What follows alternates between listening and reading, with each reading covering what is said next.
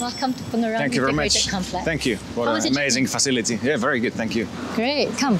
I'm going to show you this facility, and it is really the heart of the plant.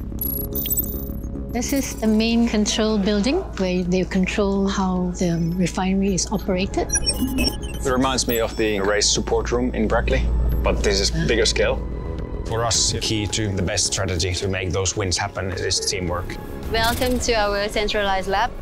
Here we have Ramona. Nice to meet you. Hi. She manages a lab for us.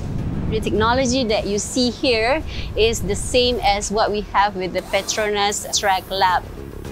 It's the basic things that we need to see the compositions of the base fuel. In a year, we have 1 to 1.2 million test frequency. So lots of work. Yeah.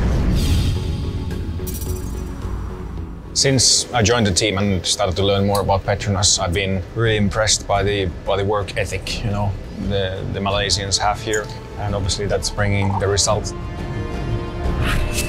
This partnership we have Yeah. it's been really good for the brand.